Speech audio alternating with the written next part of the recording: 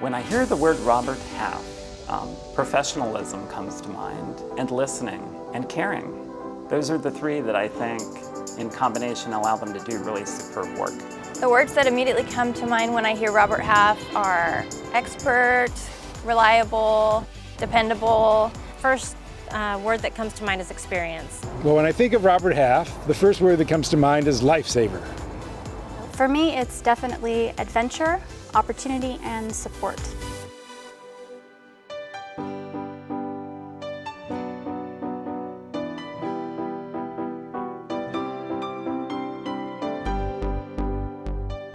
Robert Half is in the customer service business, right? They really have to understand what their customers' needs are. Not only technical skills, but soft skills, people skills, which are becoming much more important in the finance arena right now. And that's where they really impressed me. We didn't get someone who could just do the work. We got a candidate who's now a part of the team in a very short period of time. I don't think we could have had a better outcome. Happy's not a strong enough word for it, really. I started working with Robert Half about a year ago. Um, very last minute I needed someone to come in and help me with some clerical and some uh, front desk and so they were able to set me up with someone really just within a few days. She was such a perfect fit, she was so friendly, she was so reliable.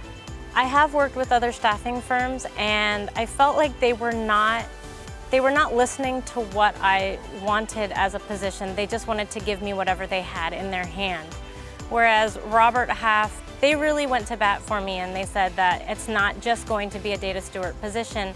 We really want to fulfill all your needs, not just our needs. Robert Half was very impressive.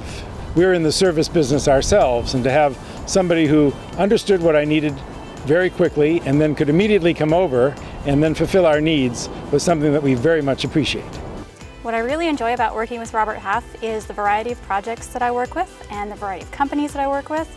I never know what I'm going to get next. It's really exciting. It keeps me really motivated and engaged. Um, when I started um, uh, communicating with the recruiter from Robert Half, um, she asked a lot of questions and they were more than just regular employment questions. You know, she was very interested in, in uh, my happiness and um, where I was interested in going. You know, I think a lot of people might only just trying to find the next job whereas they're trying to find your happy life.